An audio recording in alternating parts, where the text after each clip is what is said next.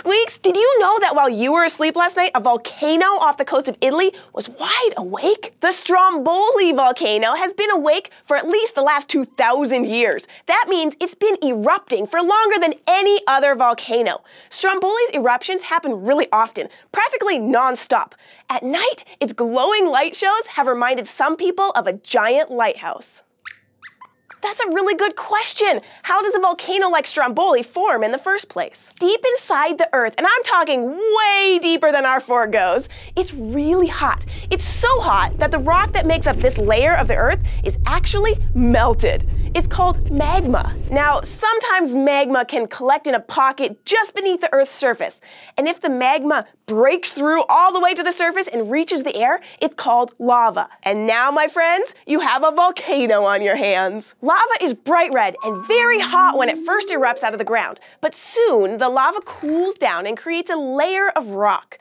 Over time, many layers build up around the spot where the lava came out to form the mountain that many of us think of as a volcano. And if the volcano keeps erupting, it keeps growing. With each eruption of a volcano, more magma flows up the tube that forms in the middle, called the vent, and it comes out the top, called the crater. Then once more, the lava cools and hardens into solid rock, and the volcano has grown. But not all volcanoes look and act the same. Lava can come out of craters in different ways. It depends on the type of volcano. For some volcanoes, like Stromboli, lava shoots out like a fiery fountain.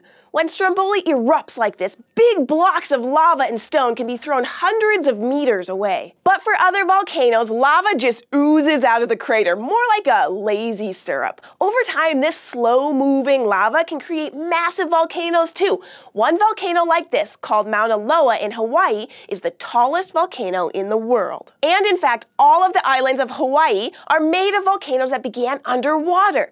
They've been growing for millions of years, and over time, all the layers of lava that have oozed out have built up until they reached above the surface of the ocean. Our fiery old friend Stromboli in Italy formed this way too. Its whole island is basically one big volcano. So you don't have to have an underground fort to know that there's a lot of amazing stuff going on beneath the surface of the earth. There are incredible forces at work all the time, shaping the world that we live in. Thanks for watching SciShow Kids. Hey Squeaks, let's get going before one of our experiments erupts.